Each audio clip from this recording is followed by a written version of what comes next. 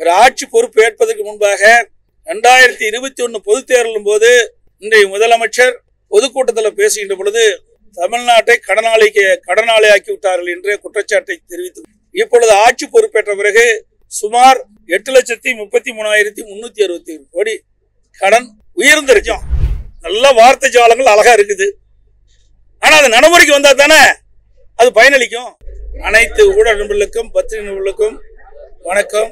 வெடியா திமுக அரசு நான்காவது முறையாக பட்ஜெட் தாக்கல் செய்யப்பட்டிருக்கிறது. இந்த பட்ஜெட்ல வார்த்தை ஜாலங்கள் தான் அதிகமாக காணப்படுது. மக்களுக்கான திட்டங்கள் எதுவுமே இல்லை. பெரிய வளர்ச்சி திட்டங்கள் எதுவுமே இதில் இடம்பெறல. மாண்பு அம்மா இருக்கின்ற பொழுது ஏழை மக்களுக்கு பசு வீடுகளுக்கு திட்டத்தை கொண்டு வந்தோம். அந்த பசு வீடுகள் திட்டத்தையும் நிறுத்திட்டாங்க இந்த விடியா திமுக அரசு. அதோடு மூன்றாண்டு காலமாக மாநகராட்சி பகுதியில் இருக்கின்ற உட்புற சாலைகள் சீர் செய்யல இந்த ஆண்டு தான் நிதி ஒதுக்கப்பட்டதாக தெரிவிச்சிருக்கிறாங்க.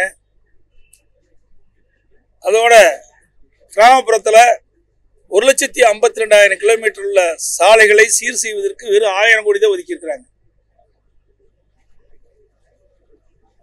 மற்றும் உடைய தேர்தல் அறிக்கையில் ஆட்சி பொறுப்பேற்ற பிறகு ஒவ்வொரு ஆண்டும் குறிப்பிட்ட தடுப்பணைகள் கட்டப்படும். அதற்கு தேவையான நிதி ஒதுக்கப்படும் என்று சொன்னாங்க. இந்த பட்ஜெட்டில் அதுவும் தெரிவிக்கப்படவில்லை. ஒவ்வொரு ஆண்டும் ஒரு குறிப்பிட்ட தொகை ஒவ்வொரு துறைக்கும் ஒதுக்கப்படுவது. அதை போலதான் இந்த ஆண்டும் இந்த விடியா திமுக அரசு இந்த பட்ஜெட்டில் எல்லா துறைக்கும் ஒரு குறிப்பிட்ட நிதி ஒதுக்கி இருக்குது இந்த ஆட்சி பொறுப்பேற்ற பிறகு இருபத்தி ஒன்று இருபத்தி ரெண்டில் எழுபத்தி ரெண்டாயிரத்தி எழுநூற்றி முப்பத்தி ஒம்பது புள்ளி ரெண்டு ஒம்பது கோடி பற்றாக்குறை இருபத்தி ரெண்டு இருபத்தி மூணில் ஒரு லட்சத்தி ஐம்பத்தி ஐயாயிரத்தி இருபத்தஞ்சு புள்ளி ஒன்று ஒன்று கோடி பற்றாக்குறை.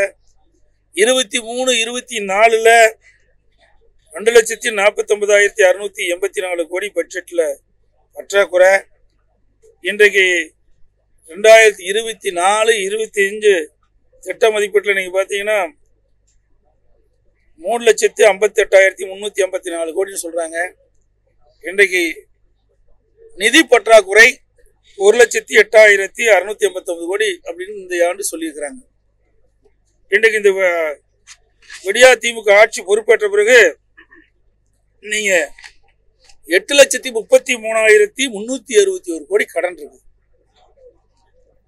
ஒரு ஆட்சி பொறுப்பு ஏற்பதற்கு முன்பாக ரெண்டாயிரத்தி இருபத்தி ஒன்று பொதுத் தேர்தலும் போது இன்றைய முதலமைச்சர் பொதுக்கூட்டத்தில் பேசுகின்ற பொழுது தமிழ்நாட்டை கடனாளிக்கு கடனாளியாக்கி விட்டார்கள் என்ற குற்றச்சாட்டை தெரிவித்து இப்பொழுது ஆட்சி பொறுப்பேற்ற பிறகு சுமார் எட்டு லட்சத்தி முப்பத்தி மூணாயிரத்தி முன்னூத்தி அறுபத்தி ஏழு கோடி கடன் உயர்ந்திருக்கிறது இந்த கடன் மேலாண்மை சரி செய்வதற்காக ஒரு நிபுணர் குழு அமைக்கப்படும் என்று சொல்லி ஒரு குழு அமைச்சாங்க.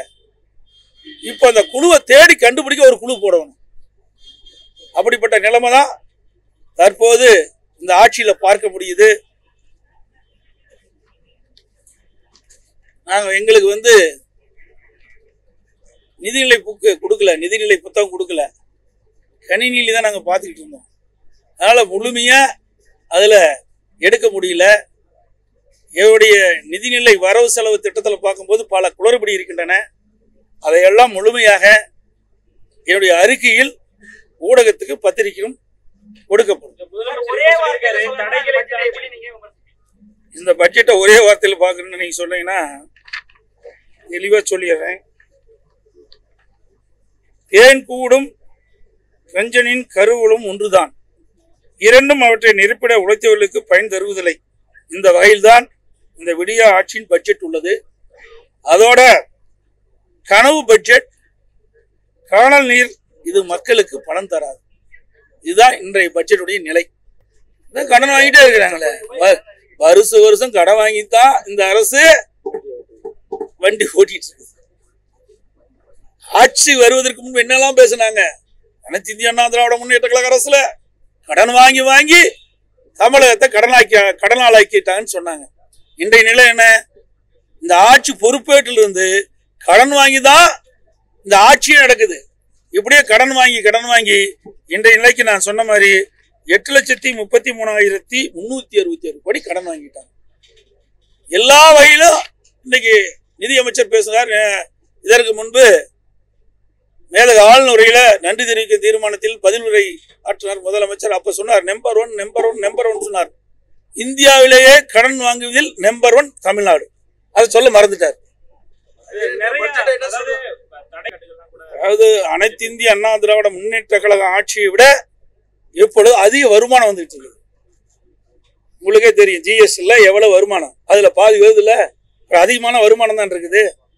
அனைத்து இந்திய அண்ணா திராவிட முன்னேற்ற கழகத்தில் கலாலில் வந்த நிதியோட அதிகமாக வந்துட்டு இருக்குது. அதோட பத்திரப்பதிவில் வந்த நிதியோட வருவாயோட அதிகமாக வந்துட்டு இருக்குது. ரோட் டிரான்ஸ்போர்ட்ல அதிகமாக வந்துட்டு இருக்குது. பெட்ரோல் டீசல் விற்பனையிலையும் அதிகமாக வருவாய் மாநிலத்துக்கு வந்துட்டு இருக்குது. அனைத்து இந்திய அண்ணா திராவிட முன்னேற்ற கழக அரசு இருக்கின்ற பொழுது வந்த வருவாயை விட கூடுதலான வருவாய் தான் வந்துகிட்டு இருக்குது. குறைவாக இல்லை. ஆனா ஆனா எந்த திட்டமும் பெரிய திட்டம் அறிவிக்கல. நான்கு அம்மாவுடைய அரசு இருக்கின்ற பொழுது இதே புரட்சி தலைவி அம்மா இருக்கின்ற பொழுது பல்வேறு புதிய திட்டங்களை அறிவிச்சோம். நிறைய திட்டங்களை கொண்டு வந்தோம். குடிமராமத்து திட்டத்தை கொண்டு வந்தோம். விலையில்லா மெக்சிகிரைன் மினிஸ்ட்ரி கொடுத்தோம். அதோட விலையில்லா சைக்கிள் கொடுத்தோம். மடிக்கணினி மாணவர்களுக்கு கொடுத்தோம். தாலிக்கு தங்கம் கொடுத்தோம். அம்மா இருசக்கர வாகனம் கொடுத்தோம். இன்னைக்கு அதிகமான மருத்துவக் கல்லூரி கொண்டாந்து அதுக்குண்டான கட்டமைப்பு ஏற்படுத்தணும். அதிக மாவட்டங்களை பிரித்து அதுக்குண்டான கட்டமைப்பு ஏற்படுத்தணும். நிறைய ஆரம்ப சுகாதாரங்களை துவக்கணும். அதுக்குண்டான கட்டடத்தை கொடுத்தோம். மேம்பட்ட ஆரம்ப சுகாதாரத்தை கொடுத்தோம். அதுக்கு கட்டடத்தை கொடுத்தோம். தாலுக்கா அளவு புதுசாக கட்டினாங்க. பள்ளிகள் புதுசாக கட்டினாங்க. கல்லூரிகள் புதுசாக கட்டினாங்க. இப்படி நிறைய திட்டங்களை கொண்டு வந்தோம். நிறைய சாலைகளை அமைத்து கொடுத்தோம். நிறைய பாலங்களை அமைத்து கொடுத்தோம். இப்போ என்ன புதிய திட்டத்தை கொண்டு வந்திருக்கிறாங்க? இந்த பட்ஜெட்டில் ஒன்றுமே இல்லையே. இல்லையே? வருவாய் உயர்ந்திருக்குது. ஆனால் திட்டங்கள் எதுவுமே இல்ல.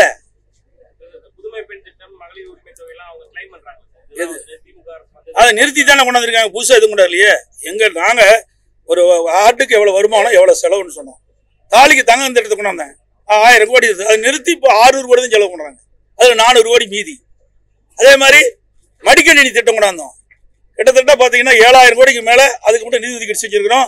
ஐம்பத்தி ரெண்டு லட்சத்தி முப்பத்தி ஓராயிரம் பேர் கொடுத்துருக்குறோம். அந்த நிதியை நிறுத்தி மாணவர்களுக்கு கொடுக்குறாங்க. இப்படி நாங்கள் கொண்டு வந்த மக்கள் நலன் சார்ந்த திட்டத்தை நிறுத்தி அதுக்கு செலவழித்த தொகையை நிறுத்தி அந்த தொகையை இதுக்கு மாற்றி பேரை மாற்றி கொடுத்துட்டு இருக்கிறாங்க. இதுதான் நடக்குது. ஆனா நாங்க இவ்வளவு கொடுத்தோம் அதிகம் கடன் வாங்கலையே. இப்போ எங்க திட்டத்தை நிறுத்தி தானே அந்த திட்டத்தின் மூலமாக செலவழித்த தொகை தானே இவர்கள் அறிவித்த திட்டத்துக்கு செலவழிக்கிறாங்க. இது இப்படி எழுதி வச்சுக்கங்க. ஆண்டுக்கு நான் ஏற்கனவே சொன்னேன். இருபத்தொன்னு இருபத்தி ரெண்டு போக்குவரத்து துறையில ரெண்டாயிரத்தி முந்நூறு என்னமோ சொன்னாங்க. புதிய பேருந்து வாங்கப்படும். டீசல் பேருந்துகள்.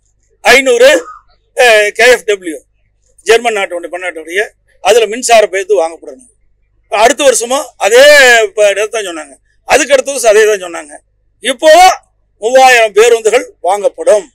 ஐநூறு மின்சார பேருந்து வாங்கப்படும் சொன்னாங்க அடுத்த ஆண்டு இதே தான் இருக்கும். இது காயத்துல மட்டும்தான் இருக்கு. ஏட்டளவுல மட்டும்தான் இருக்கு. நடைமுறைக்கு வராது. இதுதான் திராவிட மாடல் ஆட்சி. இதே நிலை தான் அன்றைக்கும். அன்றைக்கும் இதே நிலை தான் ஏன்னா எங்க நாங்க ஆட்சி இதை மட்டும் அள்ளி கொடுத்துட்டாங்களா? இவர்களுக்கு எந்த நிலைமையோ அதே நிலைமை தான் அண்ணா திமுக அரசு இருக்குன்னு பொழுதும். மத்தியில யார் ஆட்சிக்கு வந்தாலும் இந்த நிலைமை தான் ஆனா இருக்கின்ற நிதியை வைத்து சிறப்பான ஆட்சி நான் கொடுத்தோம். மாநிலத்துக்கு கிடைக்கப்பட்ட வருவாயை சரியான முறையில பயன்படுத்தி நல்ல பல திட்டங்களை நாட்டு மக்களுக்கு செஞ்சு அதனால் தமிழகம் உயர்ந்த நிலைக்கு வந்தது. நாங்கள் கொண்டாந்து உயர்ந்த நிலைக்கு வச்சதுதான் இன்னைக்கு தக்க வச்சிட்டு இருக்கிறாங்க. அதே சில நேரத்தில் தக்க வைக்க முடியல. இன்றைக்கு கல்வியில் நீங்கள் எடுத்துக்கங்க. அனைத்து இந்திய அண்ணா திராவிட முன்னேற்ற கழகம் ஆச்சிருக்கின்ற பொழுது தான் உயர்கல்வியில் ஒரு அச்சீவ்மெண்ட் பண்ணோம். ரெண்டாயிரத்தி முப்பத்தஞ்சில் அடைய வேண்டிய இலக்கை ரெண்டாயிரத்தி பத்தொன்பது இருபதுல நாங்கள் அடைஞ்சிட்டோம். நூற்றுக்கு முப்பத்தி ரெண்டு பேர் ரெண்டாயிரத்தி பதில உயர்கல்வி படிச்சுட்டு இருந்தாங்க.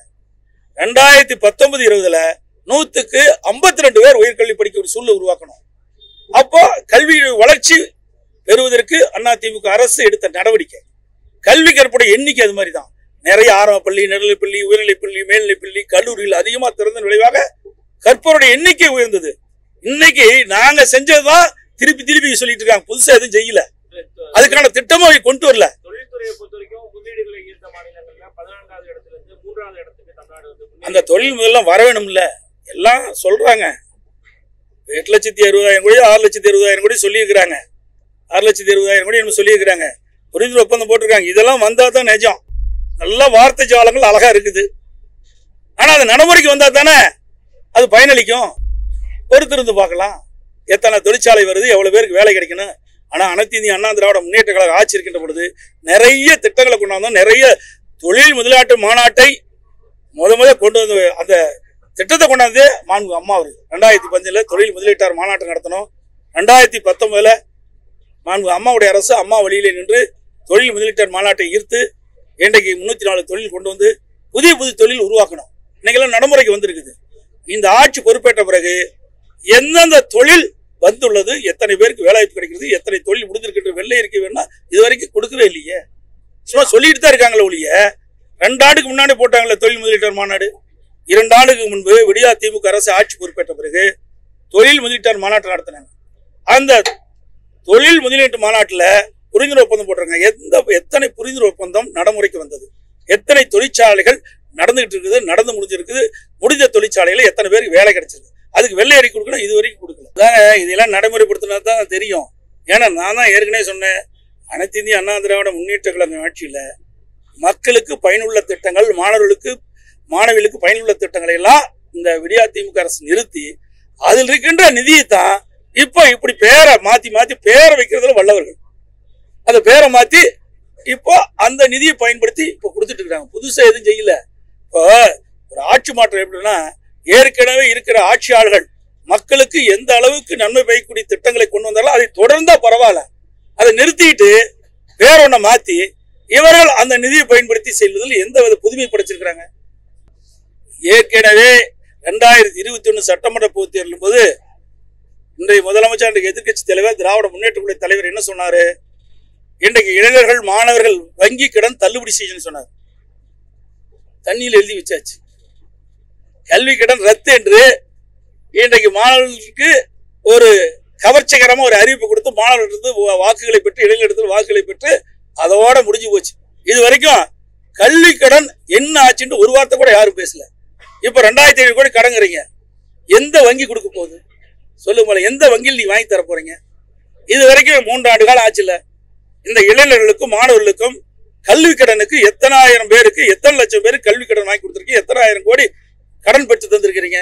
இளைஞர்களுக்கு சொல்லுங்க. அந்த பட்டியலாம் கிடையாது. எல்லாம் கவர்ச்சிகரமா வார்த்தை ஜாலங்களை பார்த்துக்கலாம் நிதிநிலை புத்தகத்துல அவ்வளவுதான் வேற ஒண்ணுமே கிடையாது. டெல்லியில போராடுற விவசாயிகளுக்கு தமிழக முதலமைச்சர் ஆதரவு கைது பண்ணிட்டே இருக்காங்க சார்.